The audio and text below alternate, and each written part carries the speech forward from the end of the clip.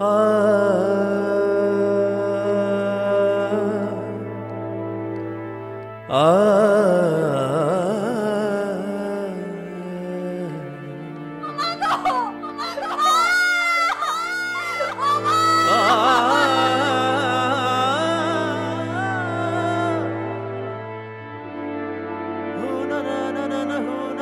Na na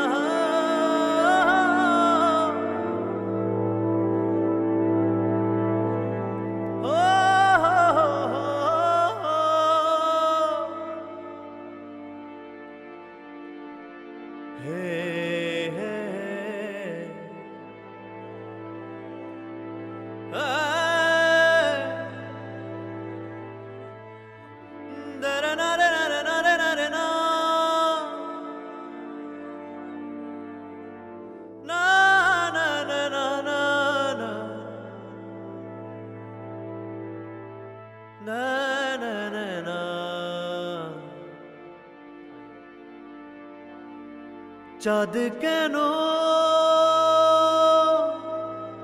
আসে না আমার ঘরে? চাঁদ কেন আসে না আমার ঘরে? সে অভিমানী মো আজ তো বোঝেনি অভিমানী মন। আজ তো বলেনি আসবে ফিরে। সে অভিমানী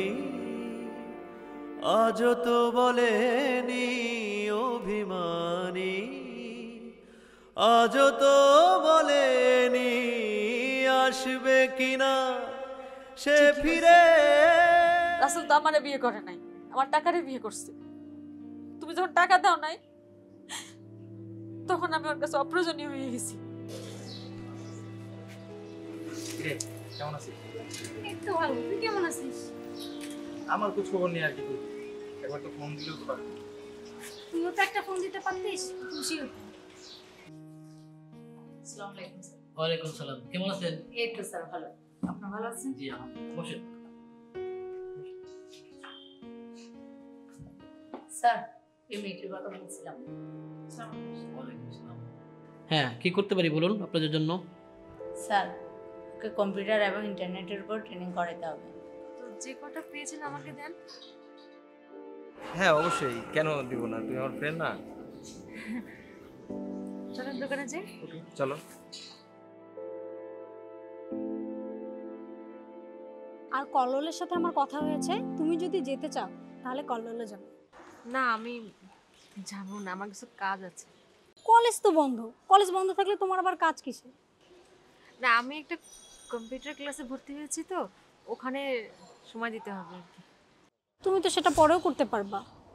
আমি যাব না সরি হ্যাঁ। ঠিক আছে তুমি যাচ্ছ না কল্লোল বেচারারও যাওয়া হলো না ও আমাকে অনেক রিকোয়েস্ট করেছে। কল্লোলকে আমার খুব ভালো বন্ধু মনে হয়েছিল। কিন্তু ধীরে ধীরে তার নোংরা আচরণ বেরিয়ে পড়ল। আমি সিদ্ধান্ত নিয়েছিলাম, আর কোনোদিন ওর সঙ্গে কথা বলব না, মিশবো না। কয়েকদিন ওর সাথে কথাও বলিনি। কিন্তু আমার পড়াশোনার জন্য সাজেশন লাগছিল, কোথায় যাব, কার কাছে যাব?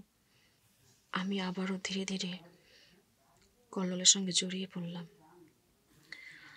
কল্লোল আমাকে সহযোগিতা করছিল, কিন্তু তারপর ঘটলো আরেক ঘটনা। একদিন কল্লোল কলেজে এলো না। আমি ফোন করলাম। কয়েকবার রিং বাজতেই সে রিসিভ করল। জানালো সে অসুস্থ। আমিও সরল মনে তাকে দেখতে গেলাম।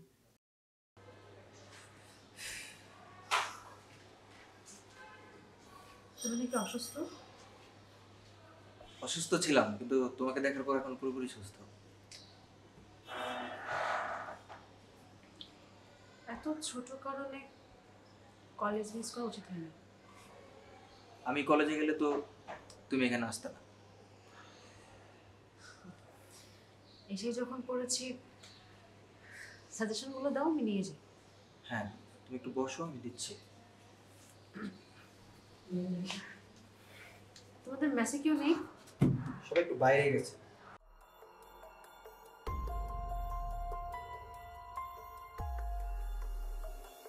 আমি আজকে আসেনি কালকে নিব। না না বসো যে এই যে পেয়ে গেছি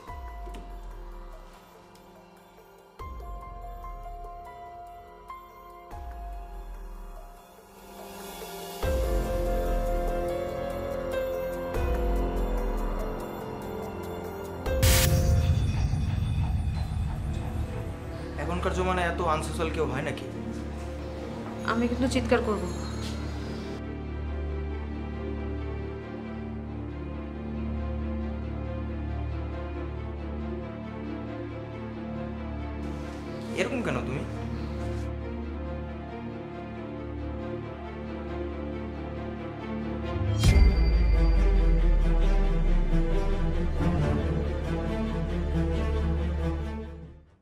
আমার ছোট্ট একটা জীবন।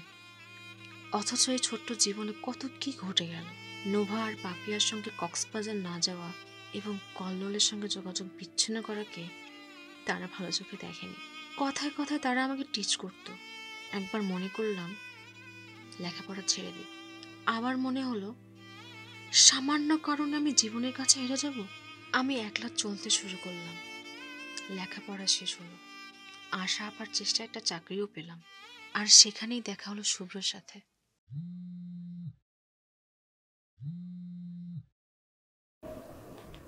কিরে কেমন আছিস? ভালো নেই আপা।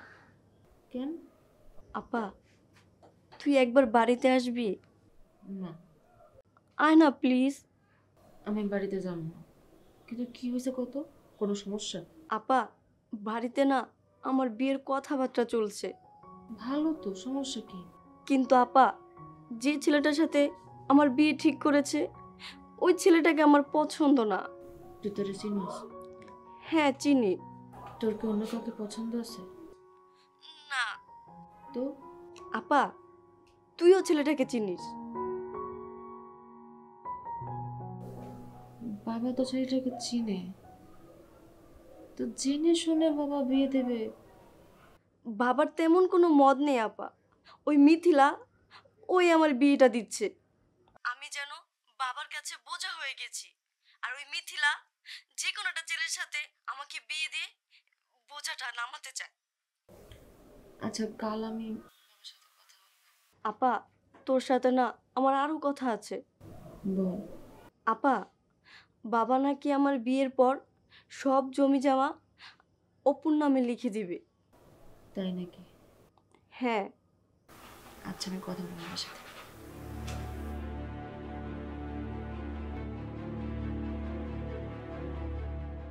আচ্ছা উর্মির প্রতি শুভ্রর ভালোবাসার পরীক্ষা করতে গিয়ে কি আমি নিজেই ওকে ভালোবেসে ফেললাম? তাও আবার না দেখে? দেখি তো শুভ্র জেগে আছে কিনা।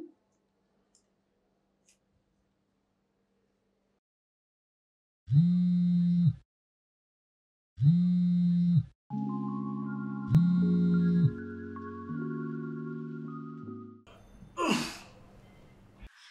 শুভ্র। হ্যাঁ বলো।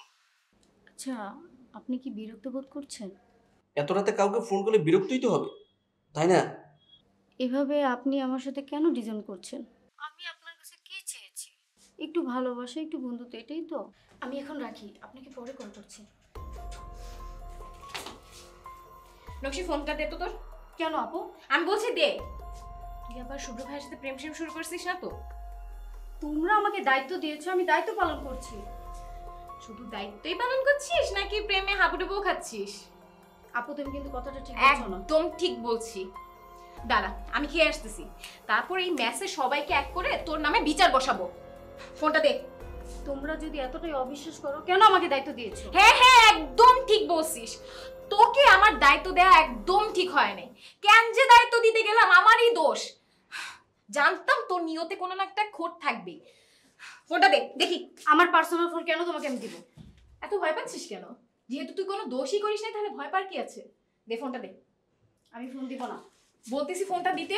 ঠিক হচ্ছে না কিন্তু। ঠিক হচ্ছে কি হচ্ছে না? এটা পরে বুঝলি আমার ফোন দাও। এখানে থাক।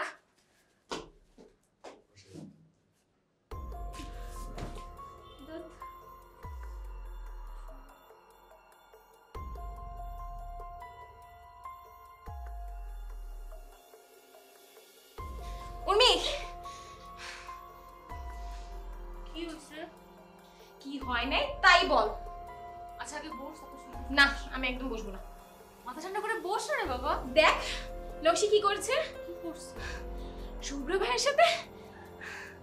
হ্যাঁ কি বল? আমরা তাকে বলছি যে শুভ্রর সাথে এক্সপেরিমেন্ট কর, আর সে কি না প্রেম প্রেম খেলা শুরু করে দিছে।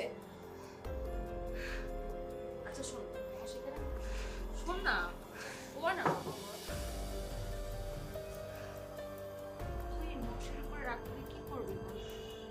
শুভ্র যদি আমাকে ভালোবাসে সে আমারই থাকবে। আর যদি ভালো না বাসে, তাহলে তুই আর কত কত নকশিকে তুই আটকাবি, কত নকশিকে তুই সেট করবি? পৃথিবীতে তো নকশির অভাব নেই। কেন এরকম করতেছিস তুই? থাক তোর সব, এসব কথা। এসব কথাতে কিছু হবে না। তুই দেখ তুই দেখ ও কি করছে। তুই দেখ, আমি ওকে এক্ষুনি নিয়ে আসতেছি। তোর সামনে আমি হাজির করব। তুই দেখ।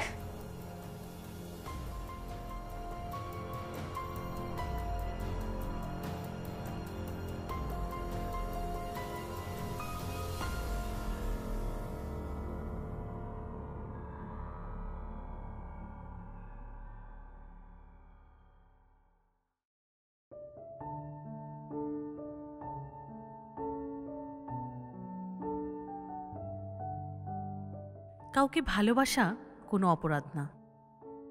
ভালোবাসার আগে কেউ কাউকে ধর্ম, বর্ণ, গোত্র জেনে ভালোবাসে না। আমি কনককে ভালোবেসেছি। ভালোবেসেছি তার সুন্দর মনকে। ভালোবেসেছি একজন সুন্দর মনের মানুষকে।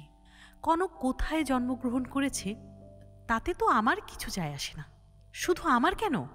বাবা, মা, আত্মীয়, স্বজন রাষ্ট্র সমাজ কারোরই কিছু যায় আসে না।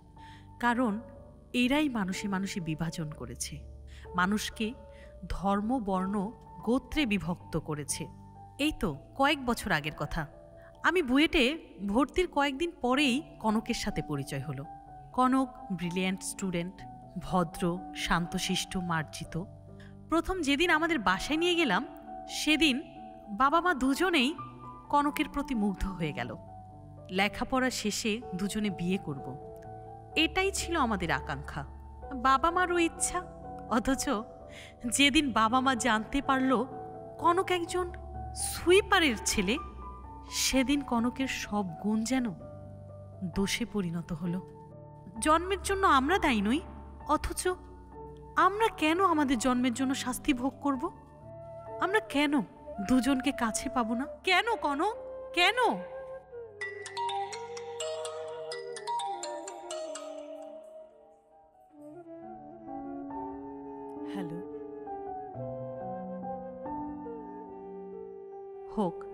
যা হয় হোক, সারা দুনিয়ার মানুষ তোমাকে ঘৃণা করুক। কিন্তু আমি? আমি তোমাকে ভালোবাসি, কনক। তবুও আমি তোমার। শাওন, এবং কনকের শেষ পরিণতি কি? জানতে হলে পড়তে হবে কথা সাহিত্যিক জিল্লুর রহমান রচিত বই, তবুও আমি তোমার।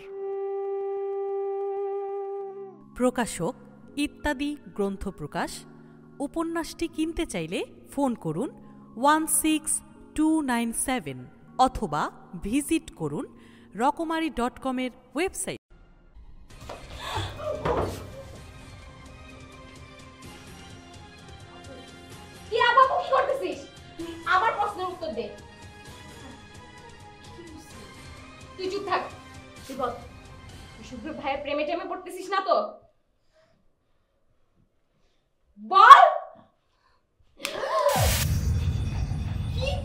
করলি তুই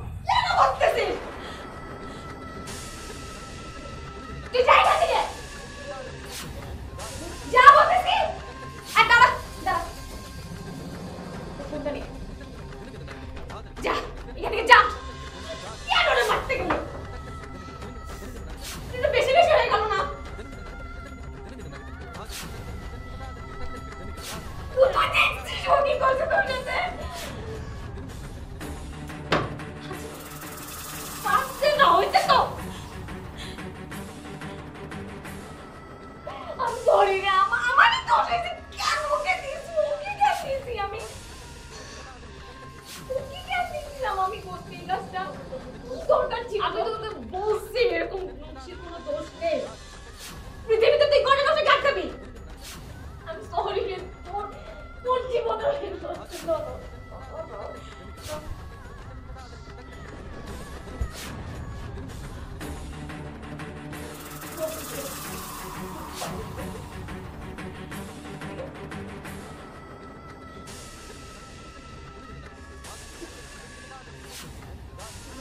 করাই দিছিস না এবার দেখবি আমি সত্যি সত্যি কি করি।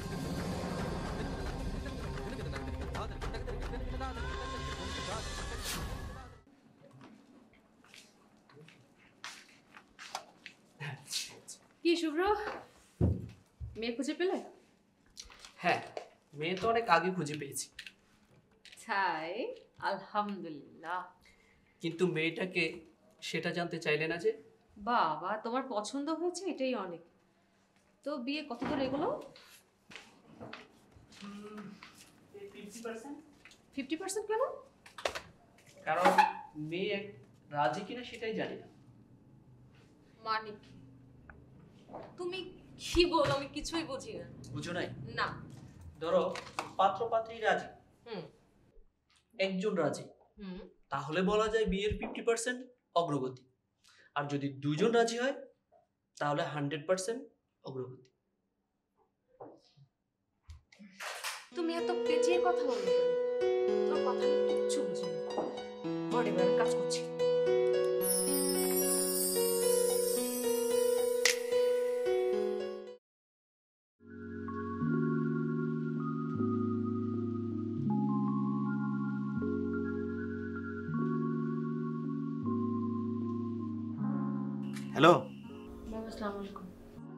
আসসালাম। মা কেমন আছিস? ভালো আছি। তুমি ভালো আছো? হ্যাঁ মা। আমি ভালো আছি। তুই বাড়িতে আসবি না মা? আমাকে কি তোর দেখতে ইচ্ছে করে না? বাবা তোমার সাথে আমার কিছু কথা আছে। বল মা। তুমি নাকি লতার বিয়ে দিচ্ছ? হ্যাঁ। বিয়ের কথাবার্তা চলতেছে। ভালো করে খোঁজ খবর নিচ্ছ হ্যাঁ রে। আমি ভালোভাবে খোঁজ খবর নিয়েছি। ভালো করে খোঁজ খবর নিও। এবার আর ভুল করো না। ভুল হবে না মা। আমি ভালোভাবে খোঁজ খবর নিয়েছি। বাবা তুমি নাকি তোমার সব সম্পত্তি অপুর নামে লিখে দিচ্ছ? তোকে কে বলল মা? কে বলল? এটা জরুরি না। কিন্তু আমি যেটা বলছি সেটা কি সত্যি? বল মা। তোমার সম্পত্তিতে আমাদের অধিকার আছে। আমাদেরকে বঞ্চিত করো না। করব না।